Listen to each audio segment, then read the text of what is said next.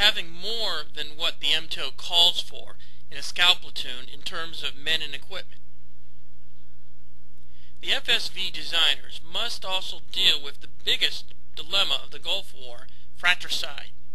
Of all friendly vehicles in our task force, my scout platoon most closely resembled the enemy because of two reasons. One, the positioning of my platoon forward and on the flanks of the unit, and two, the enemy also had M113 like vehicles.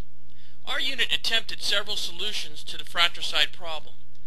We tried using the aircraft panel markers for day recognition and thermalized number 10 coffee cans on our antennas for night recognition.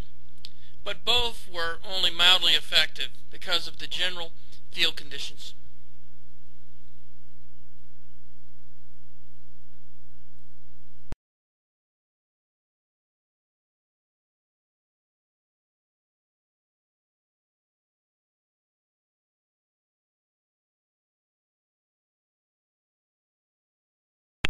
Their ineffectiveness was particularly evident during one fog of war incident which occurred on 27 February 1991. Up until this day, my platoon had been the only force on the brigade's left and northern flank since the start of the ground war. On 27 February, however, the brigade commander moved the mechanized infantry task force to the left flank for further security. He swung them around in a wide arc at approximately 45 degrees at a distance of 3,000 meters to ensure that the infantry task force did not become entangled with my task force. As the mechanized infantry task force's right flank tank company team oriented towards our M1A1 FLOT, one of the tank gunners immediately identified and lazed a column of enemy vehicles moving in front of the northeast toward my task force M1A1 FLOT. The tank commander, who was also the platoon leader, looked through the gunner's primary sight extension and identified the vehicles as definitely moving towards the friendly FLOT, but could not confirm them as friendly or enemy. After calling the spot report in and closing into a distance of 1,000 meters toward our M1A1 FLOT, the platoon leader was able to identify the vehicles as friendly. What both him and his gunner had seen was my scout platoon in an echelon left moving off the left flank of our M1A1 FLOT. This was not apparent to either soldier because of our movement formations and our indistinguishable vehicle form and our lack of an easily identifiable friendly identification system.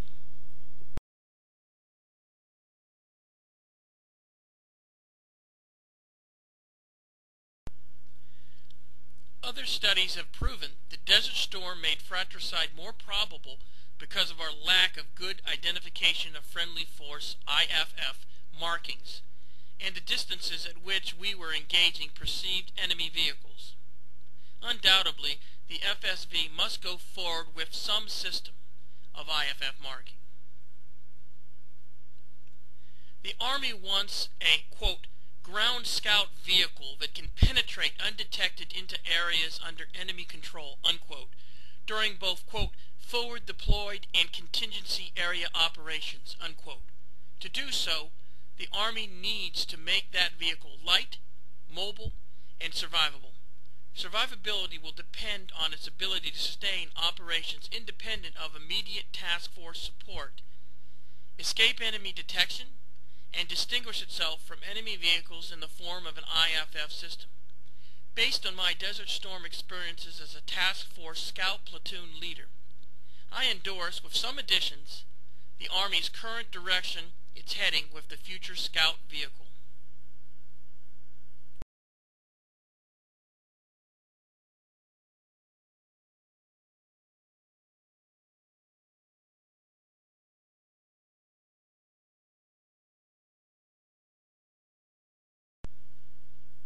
Notes 1. Armor 2000, a balanced force for the Army of the Future. U.S. Army Armor Center, Fort Knox, Kentucky, 10 July 1990, page 14. 2. FM 17-98, Scout Platoon, Headquarters, Department of the Army, Washington, D.C., October 1987, page 2. To page 60. 3. FM 71-2, the Tank and Mechanized Infantry Battalion Task Force, Department of the Army, Washington, D.C., September 1988, pages 3 through 44. 4. Ibid. 5. Armor 2000, page 14.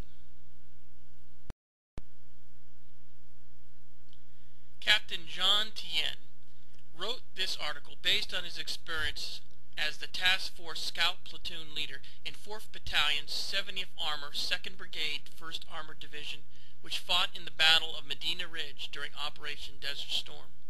He is a 1987 graduate of the U.S. Military Academy and received a degree in political science from Oxford University as a Rhodes Scholar.